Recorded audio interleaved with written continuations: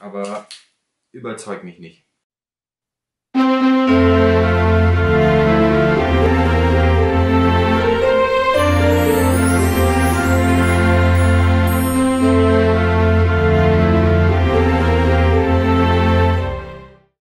Moin Leute, ich bin's wieder, euer Testiboy. Willkommen zum neuen Video. Ich hoffe, es geht euch gut und ihr habt die letzten Tage gut überstanden.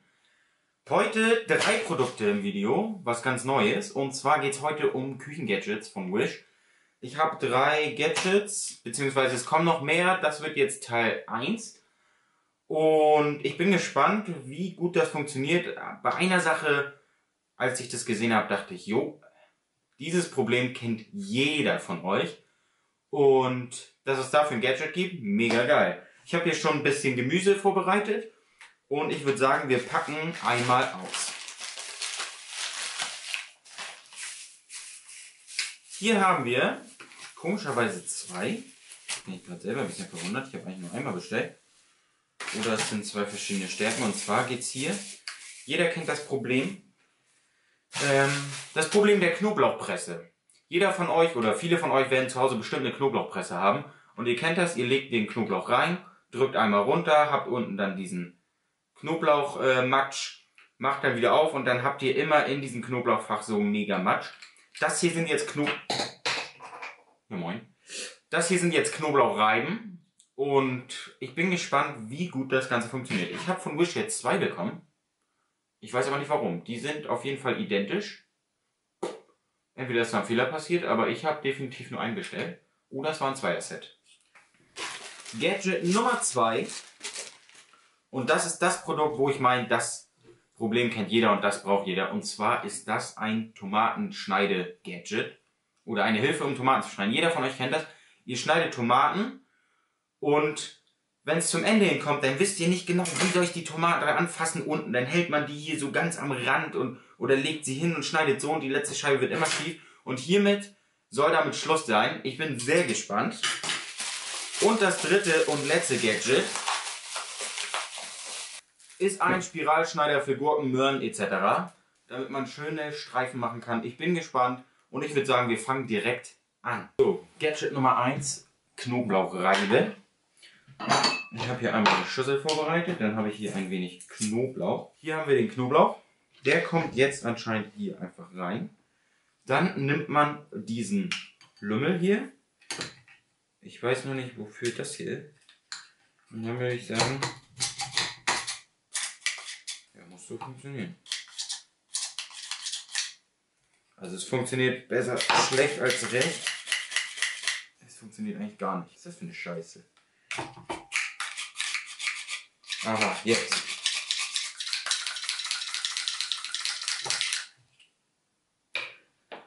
So sieht das Ganze aus. Also, das Problem ist, das ist wirklich schwergängig, das Teil nicht so geil. Ist der andere leichter zu bedienen? Nee. Also es ist extrem schwergängig. Was es wirklich erschwert. Ich weiß nicht genau wofür. Hier ist noch so ein Nupsi. Wofür der jetzt ist. Aber überzeugt mich nicht. Kommen wir zum zweiten. Und zwar zu diesem Spiralschneider. So sieht das Ganze aus. Auch hier nochmal von innen so eine Art Spiralklinge, wie man es auch von einem, von so einem Schneide nicer Dicer Ding kennt. Ich habe hier jetzt mal eine Gurke vorbereitet. Ich hoffe, die passt überhaupt rein. So. Man soll das Ganze hier reinstecken und dann so rum wahrscheinlich. Und dann einfach drehen. China, nein, danke. Das funktioniert nicht so richtig. Muss dazu sagen, die Gurke ist schon sehr weich. Ich hole einmal fix eine andere Gurke. So, dann würde ich sagen, Versuch Nummer 2. Den wieder so und Attack. Ey, auf dem Bild sah das so geil aus, ne? Und hier ist das nicht so geil. Jetzt wird's langsam. Aber guckt euch das an. Das ist doch scheiße, Alter. Zwei von drei Gadgets haben schon mal gar nicht überzeugt. ja, die Mitte bleibt stehen oder wie muss ich das halten? So. Hier.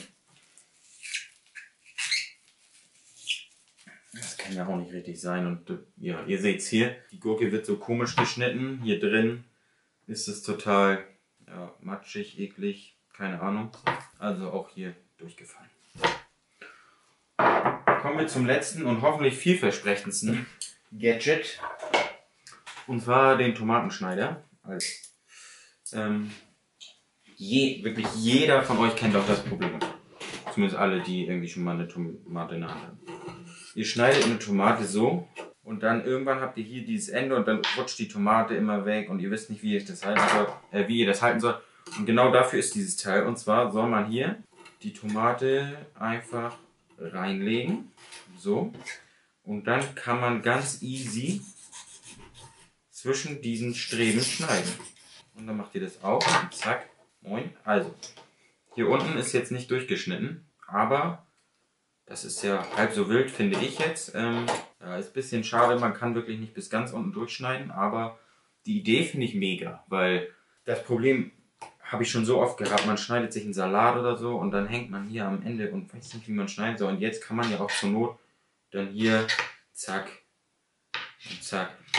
Tomatendicke ist dann ungefähr so, was ich voll in Ordnung finde. Und ja, also das einzige Gadget, was wirklich überzeugt hat. Und ich habe mir schon gedacht, dass das wirklich das Beste ist. Ich würde sagen, Bewertung und Fazit.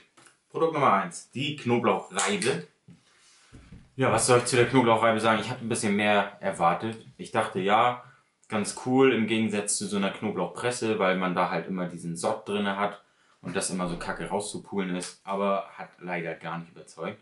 Ich habe übrigens für jedes dieser Produkte nur 1 Euro bezahlt. Also das waren so 1 Euro Dinger mit, was weiß ich, 2 Euro Versand. Also insgesamt 3 Euro für jedes der Produkte. Also die Knoblauchpresse, verarbeitungstechnisch ja, ist halt Plastik ohne Ende und diese Reibe hier, die ist nicht mal scharf. Also ich kann hier so mit den Händen rüber, wenn es richtig, wenn es eine richtig gute Reibe wäre, hätte ich jetzt die ganzen Finger auf. Das ist hier gar nicht der Fall. Dann ist halt Plastik. Deswegen gebe ich hier für die Verarbeitung ein von fünf Testis, weil nicht scharf und 100% Plastik. Kommen wir zur Funktionalität. Die Funktionalität bei dieser Presse hier ist wirklich scheiße. Sie schockt gar nicht. Weil erstens hier, ihr seht es schon, ich muss hier extrem viel Kraft aufwenden, um das überhaupt hier rüber zu kriegen. Dann habt ihr ja bei dem Test gesehen, das hat echt besser schlecht als recht funktioniert, weil ja, dadurch, dass das hier so mega erschwert war, man dann oben noch diesen Nupsi hier raufdrücken muss, aber wenn die Knoblauch, dann ist das so und gerieben hat das auch nur so halb. Also alles in allem nicht so geil. Deshalb gebe ich hier für die Funktion 2 von 5 Testis. Aus dem einfachen Grund, es hat geraspelt, aber extrem schlecht und unter schweren Bedingungen. Dann kommen wir zu Verpackung und Versand. Ja, Verpackung habt ihr ja gesehen. Verpackung, wieder mal Wish. Ähm, ja, wie immer Plastik. Sonst keine Verpackung, kein Karton, nix. Versandzeit waren zweieinhalb Wochen. Das heißt, auch hier gibt es von mir nur zwei von fünf Testis. Das macht im Gesamtergebnis für die Knoblauchreibe 1,6 von 5 Testis. Nicht so geil. Kommen wir zum zweiten Produkt und zwar die Spiralschneidegeschichte hier. Ja, hat ja auch gar nicht funktioniert. Also ich habe es mit zwei verschiedenen Gurken probiert, weil ich zuerst dachte, das liegt an der Gurke, aber es liegt einfach an diesem wirklich schlecht verarbeiteten Ding. Äh, verarbeitungstechnisch, ja, es ist halt Plastik und eine Schneide drin. Die ist schon ein bisschen schärfer als die von der Knoblauchreibe, aber es hat einfach nicht funktioniert und verarbeitungstechnisch ist das nicht so die Granate. Genau, verarbeitungstechnisch ist das Ganze hier wirklich niedrige Klasse. Preis habe ich euch ja gesagt, auch hier nur 1 Euro plus 2 Euro Versand. Also auch nicht zu viel zu erwarten. Ja, verarbeitungstechnisch gebe ich hier ein von 5 Testis. Es ist auch wieder sehr schlecht verarbeitet. Ähm, ist halt 100% Plastik. Die Klinge ist hier auch nicht scharf. Ja. Funktionsweise, ja, glatter Durchfall. Also das hat ja noch schlechter fast funktioniert als die Reibe. Also das Ergebnis sieht so aus. Es sind ähm, so Art Spaghetti zu erkennen, aber das war wirklich ein Akt und das Problem des Ganzen, wohl das sieht ja schon wieder fast geil aus. Das Problem des Ganzen war, dass die Gurke so spitz geschnitten wurde, weil man die einfach hier reinlegen muss Und dann hier am Ende wurde es einfach nicht geschnitten. Warum auch immer. Es hat leider nicht funktioniert. Deshalb gebe ich hier zwei von fünf Testis. Verpackung und Versand genau das gleiche wie bei der Knoblauchreibe. Zweieinhalb Wochen Versandzeit, nur Plastik. Moin. Also auch hier zwei von fünf Testis. Das macht im Gesamtergebnis genau das gleiche wie bei der Knoblauchreibe und zwar 1,6 von 5 Testis. Kommen wir zum letzten und vielversprechendsten Gadget und zwar die Tomatenschneidehilfe. Ja, da bin ich wirklich positiv überrascht. Wir fangen an bei der Verarbeitung. Ja, es besteht auch nur aus Plastik. Das Problem, was ich hier gesehen habe, ähm, wenn ihr das so seht, ich hoffe, es ist scharf, ähm, diese Stangen hier sind alle ein bisschen krumm. Das heißt, die Scheiben werden unterschiedlich dick. Ist jetzt, glaube ich, kein Faktor, der mega stört, aber muss mit einberechnet werden. Sonst haben wir hier den Greifmechanismus, der, der gut funktioniert. Ähm, verarbeitungsmäßig, ja, man sieht hier überall Ecken und Kanten. Hier gebe ich für die Verarbeitung auch ein von fünf Testis. Kommen wir zur Funktionsweise. Ja, es hat funktioniert. Nicht 100%, ich konnte unten ja nicht ganz durchschneiden, aber das fand ich halb so schlimm, weil die Tomate war wenigstens in Scheiben geschnitten und ich konnte nachher die Tomate einfach runternehmen und die nochmal durchschneiden. Das fand ich jetzt wirklich nicht so dramatisch. Es hat funktioniert und auch so, wie ich es erwartet habe und es ist wirklich praktisch, weil wirklich die letzte Scheibe oder die letzten zwei Scheiben bei einer Tomate sind immer für den Arsch. Und ähm, da schafft das hier einfach super Abhilfe. Deshalb gebe ich hier für die Funktionsweise drei von fünf Testis, einfach weil ich wirklich nicht bis zum Ende durchschneiden konnte. Kommen wir zu Verpackung und Versand. Es ändert sich nichts. Auch hier zwei von fünf Testis, weil einfach genau das gleiche wie bei den anderen. Das macht im Gesamtergebnis zwei von fünf Testis. Ja, Küchengadgets Teil 1. Buh, ich habe mir leider mehr erhofft, aber das war wohl leider nichts. Ähm, nichtsdestotrotz sind wir mitten im Dezember und heute verlose ich die Teile einzeln.